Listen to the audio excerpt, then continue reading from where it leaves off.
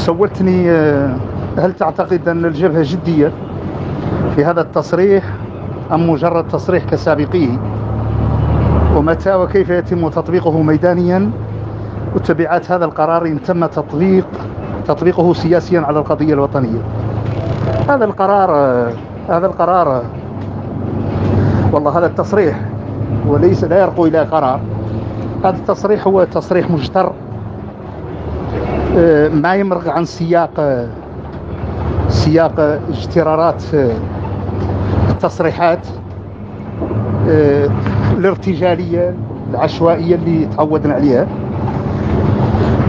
و و هل الجبهة جدية؟ الجبهة هو الإشكال أنه الجبهة جدية. الإشكال هو أنه قيادة الجبهة. تتكلم خارج سياق الجدية المطلوبة واللي آه، الطالب بها الجماهير الشعبية الصحراوية أينما كانت. والسياق اللي اللي اللي اللي تتم فيه التصريحات يجعل التصريحات خارج السياق لأنه السياق العام وطنيا جهويا ودوليا. شيء وتصريحات قيادة الجبهة وأقول قيادة الجبهة وليس الجبهة. قيادة الجبهة خارج خارج السياق. أه تصريحات ارتجالية عشوائية متضاربة تنم عن قلة مركزية التحليل وقلة وحدة الرؤية وعدم انسجام التقييم إذا كان هناك تقييم. وأنا أتذكر عنه في موجة التصريحات باش ما نعودوا آه، كأن مجاوبين تصريح محدد لأنه التصريحات كاملة ناظمها واحد هو الارتجالية والعشوائية يا غير مولي المزاجية. تتذكر أني كتبت تدوينة تفاعلية وقلت على أنه مراجعة التعاطي مع الأمم المتحدة بالدرجة الأولى قبل أن يوجه للأمم المتحدة يلزم إحداث مراجعة مع الذات. مراجعة على مستوى الذات تستنطق الواقع الوطني القائم كل أبعاده سواء داخليا سواء جهويا في المحيط المحيط اللي المحيط بنا وسواء في طبيعة آه، تعنت العدو يا غير في طبيعة مولي لماذا هذا ال هذا ال الجمود وهذا التكلس؟ يا غير عاد يرقى إلى مستوى الاستهتار الأممي بالطرف الصحراوي. هذا يستدعي أن قيادة الجبهة والتنظيم السياسي للجبهة يعود في مستوى تطلعات شعبه يستجيب للمتطلبات وهو في الحقيقة نقيض ذا علاه لأنه طبيعة التصريحات لا تجاري المطلوب. والسبب في ذلك يعود إلى أن نحن في الجبهة أمام قيادة. عندها فشل في المراهنة وعندها خلل في المقاربة. فشل في المراهنة. لأنه مخطط السلام الأممي ما هو منا ممنون على الشعب الصحراوي. هو ثمرة. الكفاح الشعب الصحراوي؟ هو ثمرة. تضحيات الشعب الصحراوي؟ وهو ثمرة المنسوب من النضال من التضحيات من المعاناة من تقديم الشهداء من المقابر الجماعية. ترجمت من خلالها الإرادة الصحراوية. بأنها أولا رافضة للاحتلال ثانية لا تقبل الخنوع ولا الخضوع وعلى أنه اختيارات الشعب الصحراوي في الاستقلال وفي الحرية هذه أهداف سامية نتمسك بها الشعب الصحراوي ومستعد يدفع ضريبته. والخيارات قلت الاختيارات في الأول الخيارات اللي اعتمد وهي خيار الكفاح المسلح جاب ثمرته من خلال فرض على العدو وفرض على الأمم المتحدة. فرض على العدو بأنه يقايض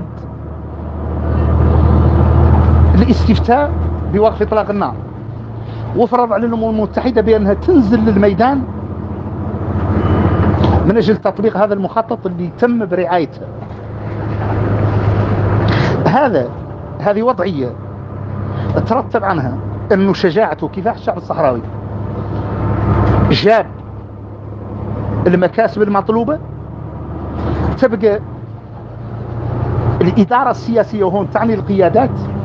الإدارة السياسية للتعاطي مع الأمم المتحدة؟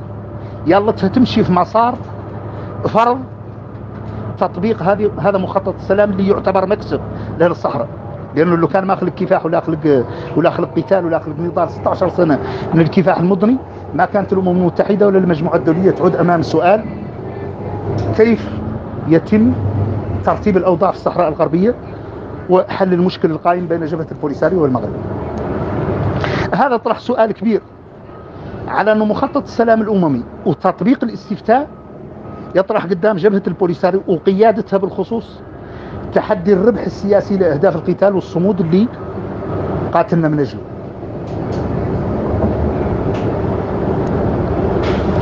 هون تم التوقيع على على وقف إطلاق النار وفق شروط ما هي مدروسة ولا هي ممحصة.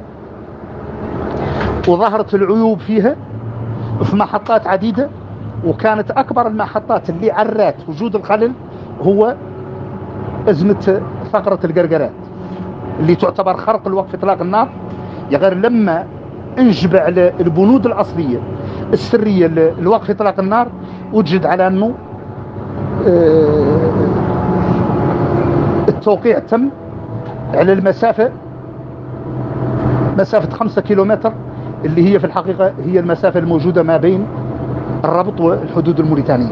الشيء اللي يجعل أي تمظهر مسلح إحنا نتهم فيه إعلاه لأنه التوقيع أصلا ما كان ممحص. الثانية غياب بند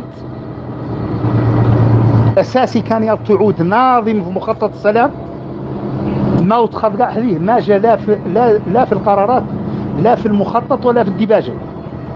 ما هو في النصوص مخطط السلام ولا هو في حتى في الديباجة مخطط السلام. شنو هو؟ هذا اللي قال له الحفاظ على والله حماية حقوق الإنسان الصحراوي في المناطق اللي تحت الاحتلال. الشيء اللي جعلنا نظهروا في سنوات عديدة سقف مطالبتنا هو المطالبتنا بإدراج حقوق الإنسان في مهمة بعثة المينورسو هذا الم... هذه مطالبة بعدية في الوقت اللي كان يلتها تعود في نصوص الاتفاق القبلي الشيء اللي يجعل على أنه توقيع مخطط السلام وخصوصا توقيع وقف إطلاق النار إجرى. في ظروف وفي شروط وفي تعاطي ميزت الارتجالية والمزاجية والطفيلية السياسية. هذا يطرحنا أمام على أنه المقاربة المقاربة في الرهان على الأمم المتحدة في المضمون توقيع الاتفاق فيه فيه خلل ناظم. يقرم اللي على مستوى الذات الصحراوية خالق خلل على مستوى القيادة في أنه عملية المراهنة اللي كانت على مستوى الذات اللي هي جابت الأمم المتحدة تحولت في مفهوم القيادة إلى أنه العامل الخارجي هو الحاسم في الصراع وبالتالي العامل الذاتي اللي هو القوة الذاتية تم هدرها تم الاستخفاف بها وأكبر عنوان في الاستخفاف بها هو قول الباقي يمشي يمشي والباقي يقعد يقعد معنا طايرين في حد والثورة منتصرة بيكم وبلا بيكم بيكم وبلا بيكم إحنا من هما. وأنتم من هما اللي نعودوا إحنا في برزخ اللي هو الشعب الصحراوي وتعود قيادته في برزخ تتبجح ليه وتقول له بيكم وبلا بيكم منتصر. هذا السياق المختل ود بأن الأمم المتحدة تشوفنا بمستوى من الترهل تعود ربما تتقاطع هي والعدو عن قصد ولا عن غير قصد في أنها تحاني العوامل الذاتية. أن إحنا يا كانها تتكفل بحل الصراع. العوامل الذاتية اللي يراهن عليها عندنا إحنا هي عامل التآكل الذاتي وعامل الهدر المكاسب. هذه المكاسب اللي موجودة اللي هي اللي جابت الأمم المتحدة يتم هدرها وهذه القوة الذاتية اللي انتظامها والتفافها وأدائها وانسجامها وتعزيز وحدتها الوطنية هو ظهر اللي عزز أولا إناعة المظلة السياسية والاجتماعية اللي عند الجبهة اللي هي القيادة اللي من خلالها تضغط وتفرض على الأمم المتحدة بأنه هذا شعب متمسك مواقفه هذا ود على أنه هذه التصريحات بدل تستهدف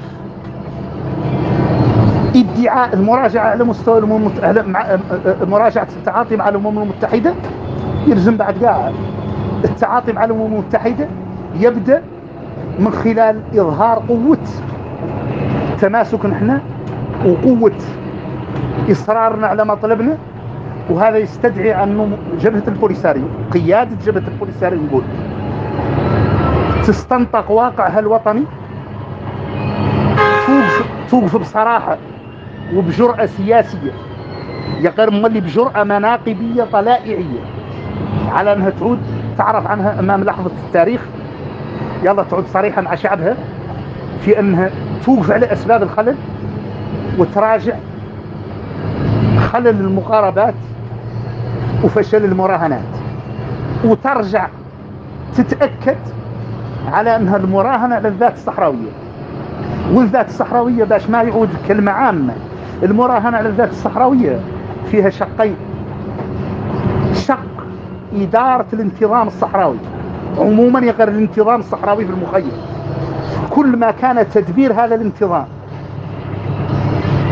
يوحي, يوحي يعني يبعث يعني يمارس العدالة يبعث الطمأنينة ويقوي إحساس المواطن والمناضل الصحراوي بالاحتضان يتعزز الانتظام وتظهر وتظهر آه، نجاعته وفاعليته. والثاني على مستوى إدارة الصراع مع العدو.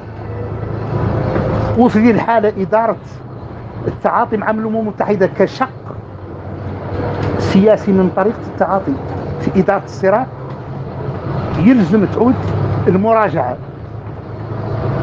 كيسة رزينة هادفة تبدأ بالذات ياك تخاطب الأمم المتحدة بالفعل وله بالتهديد. علاه لأنه إحنا مكاسب الشعب الصحراوي هي جابت الأمم المتحدة لتطبيق مخطط السلام.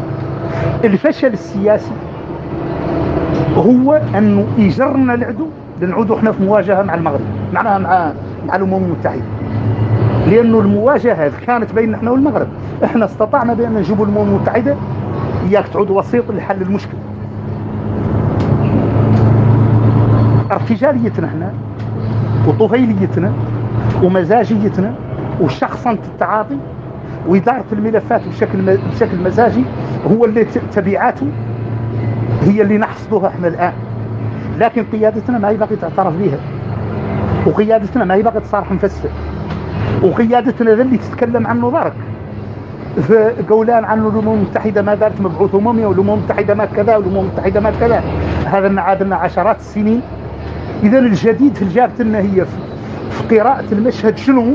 خارج عن ذا اللي كنا نكتبوا نكتبوا إحنا كأشباه مثقفين وأشباه كتاب لكن متأكدين أن ما لنا أشباه مناضلين ولا لنا أشباه وطنيين بل نحن وطنيين ومخلصين. كنا نكتبوا نقولوا عن خالد خلل وأنا أتذكر شخصيا على انه واحدة من العناوين الكبيرة اللي قد كتبت عنها المفاوضات إلى عين وعدت الاختلالات الموجودة هذا عدوا عشرات السنين. ما يقارب من 15 سنة إلى بل 20 سنة وتحديدا في 2007 13 عام. واحدة من المواضيع الكبيرة تيه المؤمل في ضبابية المفهوم بين المبادرة والمناورة. هل إحنا ماشيين في مبادرة حقيقية تتوجه للسلام؟ هذا هو مركز السؤال في الموضوع عموما. هل نحن أمام مبادرة باتجاه إيجاد حل؟ أم نحن أمام مناورة كيدية مغربية كانت آه، لعبة تحديد الهوية اللي تقاطع فيها بيريز ديكويار هو والحسن الثاني في أنهم ينزلقوا بتحديد الهوية من خلال توسيع اللوائح وتمييعها إلى لعبة حافة الهوية اللي إحنا موجودين فيها ظرف هذه كانت ظهرت في ديسمبر 92 والله باطل ديسمبر 91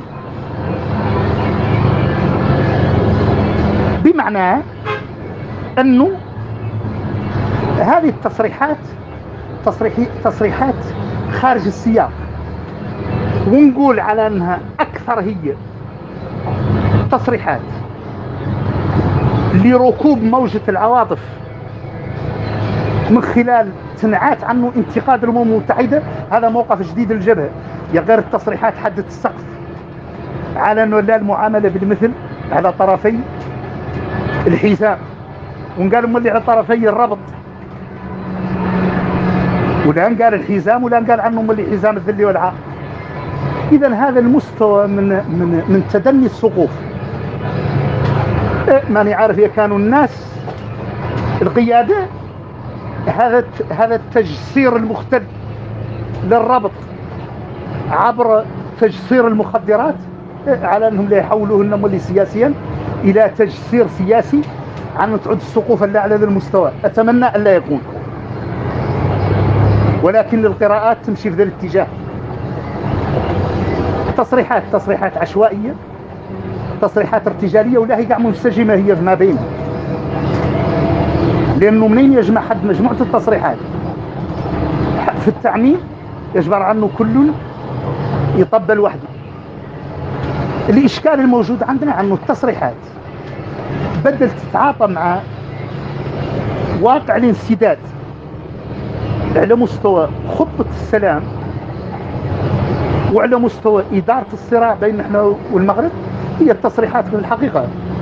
واضح عنها إلا في إطار آه، بورصة صراعات الداخل. بورصة صراعات الداخل نقولها ونقولها بكل المفاهيم بين مزدوجتين المنحوتة اللي تعبر عن قاموس الاختلالات داخل الواقع. لأنه إحنا أمام وضع انسداد آه، وغياب رؤية سياسية وغياب تحليل مركزي مهما كانت تشاؤم التحليل إلا أنه الإرادة الصحراوية دائما آه، دائما معروفة بالتحدي معروفة برفع التحدي بالتحدي ومعروفة بصناعة التحدي. إلا أن التصريحات توحي وتعبر عن مستوى من التيه يغير مستوى ملي من تضخم الأناء وتضخم الذوات. بحيث أنه يكلم عن رجال دولة ويكلم عن الرجل الأول والثاني والثالث والعاشر في الوقت اللي نحن اللي نحتاجه.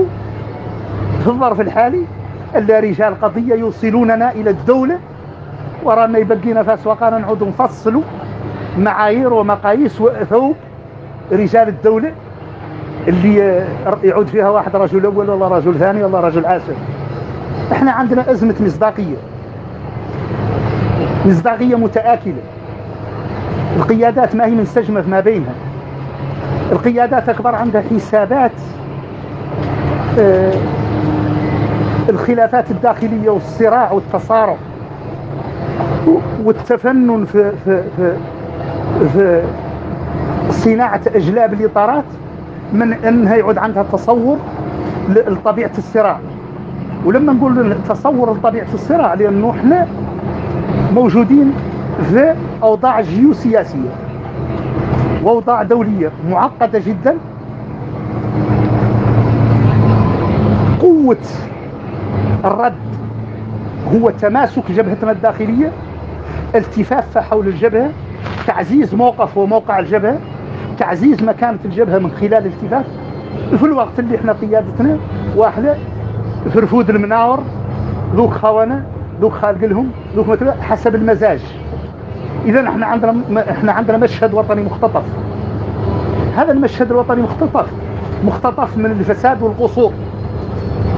في الوقت اللي إحنا في اوضاع جهوية قلت يطبعها إنه الحليف الرئيسي ان كل قوته وكل ثقله راهو موجود يعني مطوق بنيران معادية متربصة به سواء في ليبيا سواء في النيجر سواء في مالي.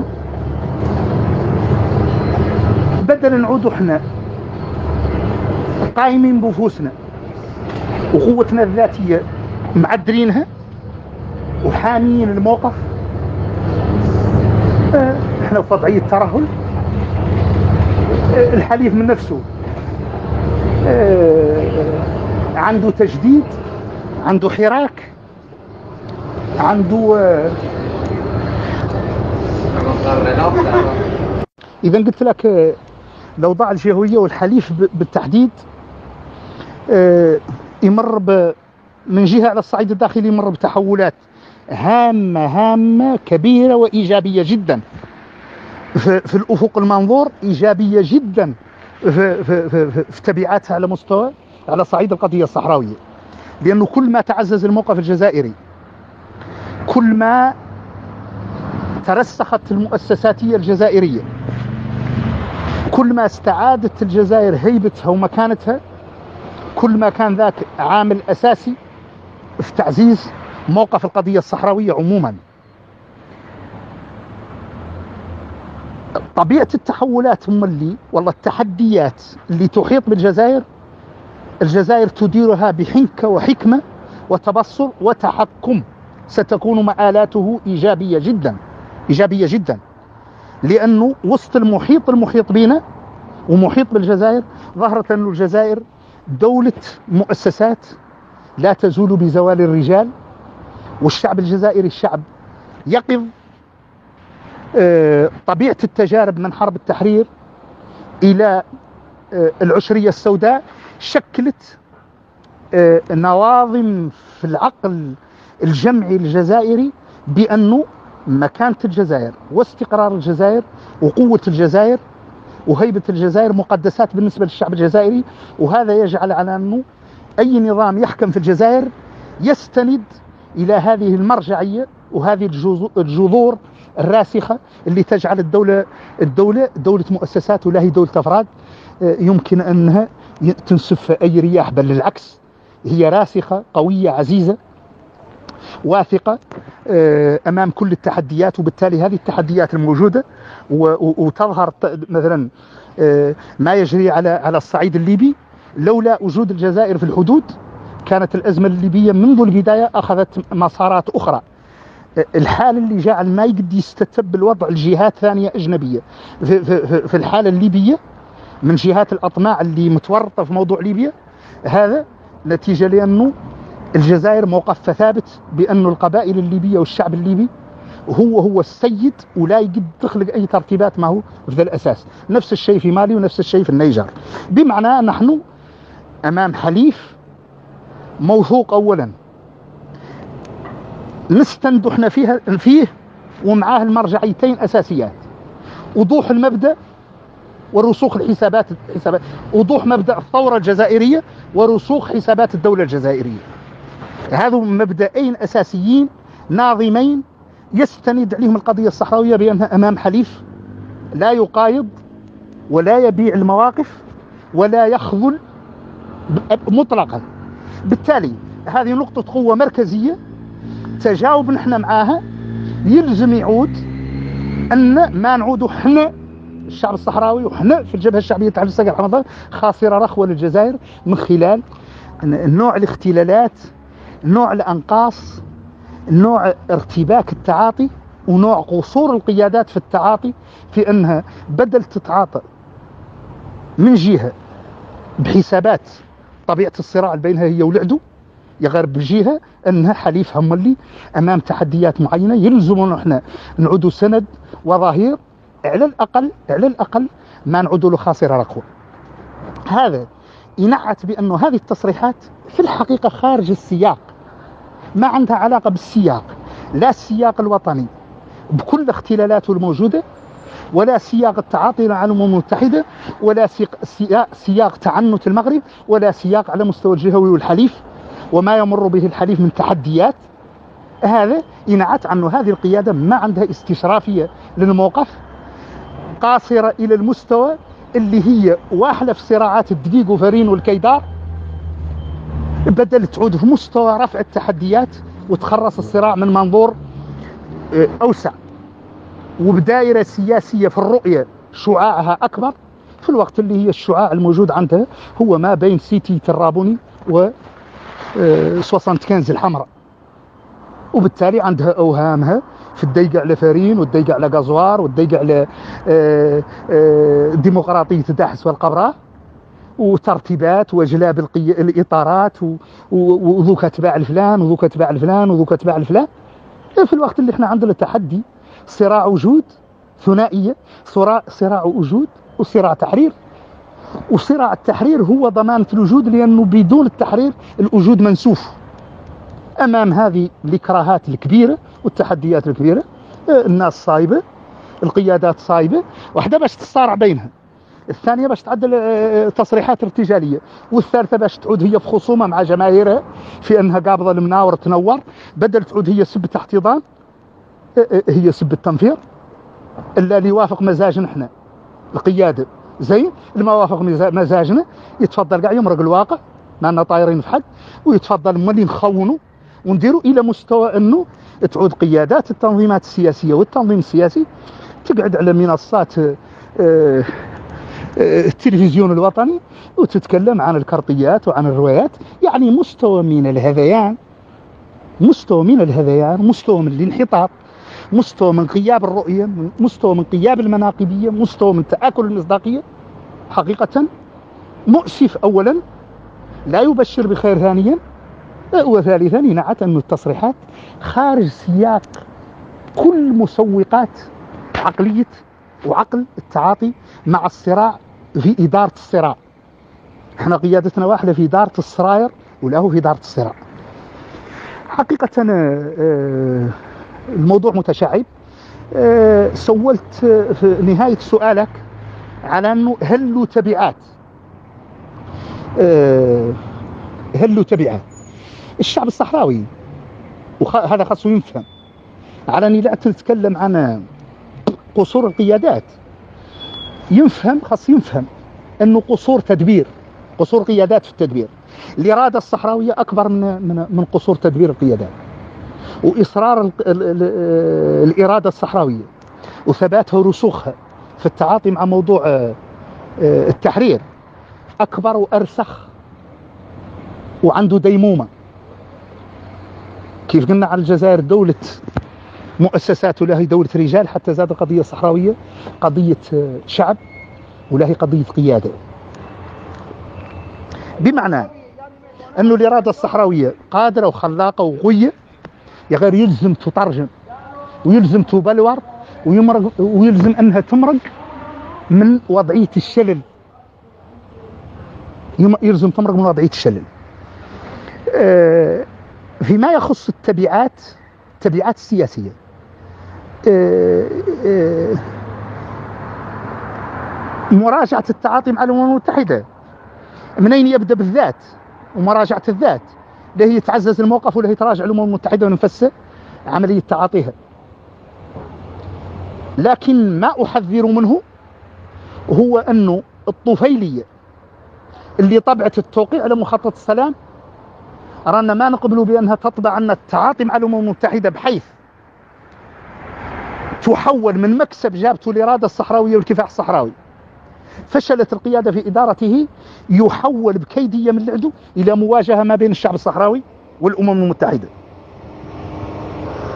وانت على كلامي واضح في السياق معناها عنه الشعب الصحراوي راه في غنى أن تورطوا الطفيليات وقياب الرؤية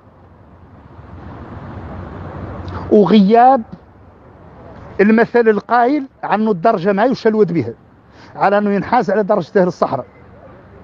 يعود الاختفاء والاختباء والتستر عن الفشل في تدبيرها يترجموه من خلال قصور القيادات يترجموه في خطورة التعاطي مع الأمم المتحدة بحيث أنه ننجروا بسذاجتنا إلى نعود في مواجهة مع الأمم المتحدة بكيدية من العدو. والسلام عليكم ورحمة الله.